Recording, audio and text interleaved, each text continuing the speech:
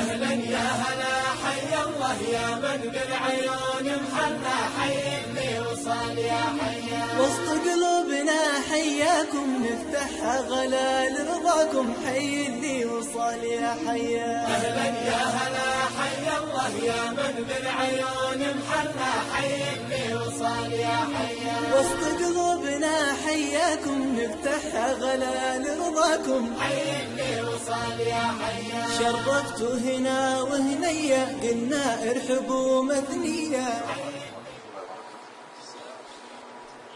وعلي شيخنا المبجل أيها الوجوه الطيبة أيها الوجوه الطاهرة. الحقيقة أننا أمام حقيقة. فالمجمع الحمد لله حقيقة. وأنا لم أطلب الكلمة آه، لكي أعقب ولكن آه، لكي أشكر الله سبحانه وتعالى. أولا أنني أحد الأسباب. الأخ ابن العم مشعل الزايدي أنشأ مسجدا كبيرا ولله الحمد في هذه الجهة. سألني ذات يوم هل تعرف خطيبا مفوها هل تعرف إماما؟ الله سبحانه وتعالى أعطاه مزمار من مزامير داوود. فنصحت بالشيخ عبد العزيز واليوم نرى هذا اللقاء الذي تم ذات يوم على وساطة تحول إلى تعاون كبير تعاون بين المال والعلم. وهذا من فضل الله سبحانه وتعالى. أنا سعيد جدا هذا المساء بأن آه، أرى هذا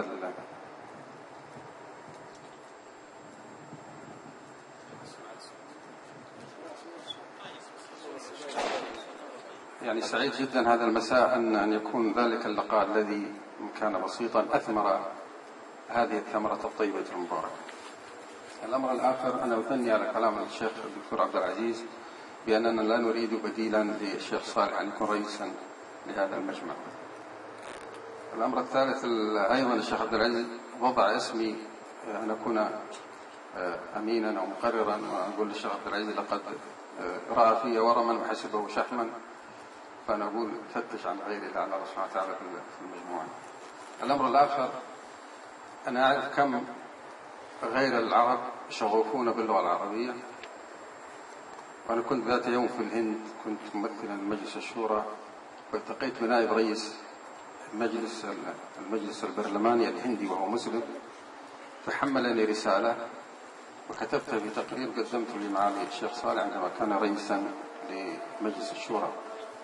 يقول هذا البرلماني السياسي الكبير المسلمون في الهند 225 مليون. وهما أكبر يعني آه، آه، ديانة في في القارة.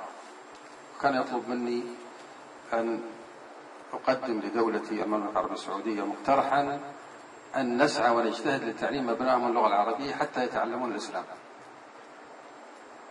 ما طلب منا نبعث لمشايخ لكي يعلمهم كيف الدين ولكن طلب أن يتعلموا اللغة العربية حتى يتعلمون الدين على وجه الصحيح من خلال آه، تعليمهم اللغة العربية. فأنا أعتقد أن هذا المجمع سيكون إن شاء الله على علم أنه الوحيد بهذا التوسع طالما أنه آه، من تابع وتابع صفحته أكثر من مليوني شخص أنه سيكون الوحيد اليوم انتشارا في العالم. ونخرج من دائرة التنكيت والمجامع البسيطة وال- والنايمة أنا أسميها نايمة لحد الناس ضجروا منها وبدأوا ينكتون على على على قراراتها وأنتم تذكرون حكاية آه، يعني التنكيت وشاطر ومشطور وبينهما طازج وهذه من النكات التي نفرت الناس من المجامع.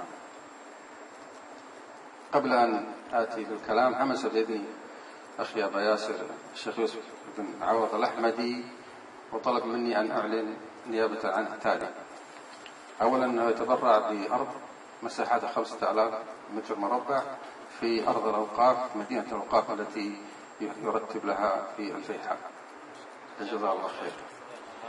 الأمر الآخر طلب أن أعلن واقترح أنه يخصص مئتي ألف ريال لجائزة آه، على الأمناء وعلى المجمع أن يحدد إطارها وشكلها لكنها تكون جائزة علمية.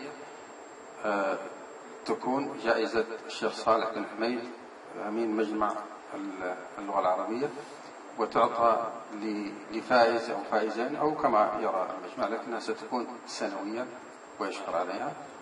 ال- الثمرة الثالثة أنه يقول لدينا مدارس ونحن جاهزون لاحتضان أي أي نشاط أو فكر أو تعاون في مع المجمع آه، سواء آه، آه، علمي أو طبعا إداري أو تنظيمي وهذه لا شك هي ثلاث فوائد لهذا اللقاء. آه، معالي شيخنا الأجل. أنا والله سعيد جدا بحضورك.